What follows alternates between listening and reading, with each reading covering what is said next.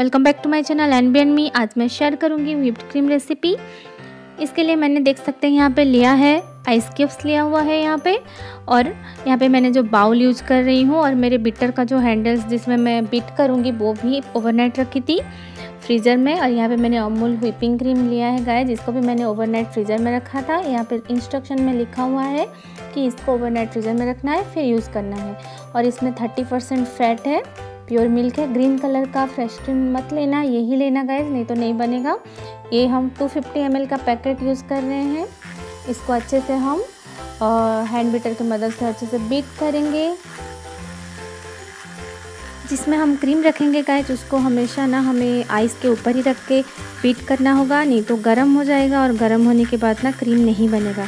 इसके लिए हमें इसको आइस के ऊपर ही रख के बीट करना होता है। ये देख सकते हैं गाइस थोड़ी देर बीट करने के बाद इसका जो टेक्सचर है चेंज होने लगा है, आप देख सकते हैं। क्रीमी कंसिस्टेंसी आने ही लगा है। अब हम इसमें ऐड कर देंगे। वन कप मैं यहाँ पे ऐड कर रही हूँ वन कप पाउडर शुगर आप अपने टेस्ट के हिसाब से कम ज़्यादा कर सकते हैं इसमें। क्योंकि इसमें शुगर नहीं रहता व्हिपिंग क्रीम में तो हमें शुगर ऐड करना पड़ता है। और इसको फिर से अच्छे से बीट करेंगे। जैसे कि इसका फ्लोइंग कंसिस्टेंसी ना रहे क्रीम में।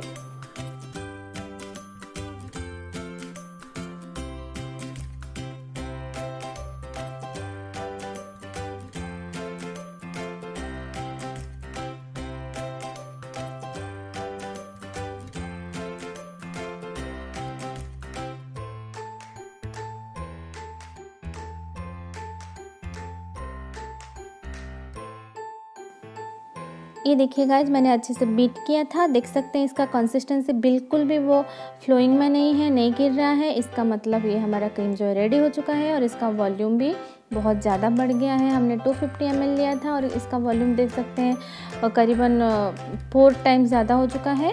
हमारा क्रीम जो है रेडी है। आपको अगर मेरी वीडियो पसंद आए तो प्लीज़ मेरे चैनल को लाइक शेयर एंड सब्सक्राइब कर दीजिएगा और बेल आइकन को भी दबा दीजिएगा जो कि उससे आपको मेरी न्यू वीडियोज़ की नोटिफिकेशन आ जाएगा thank you thanks for watching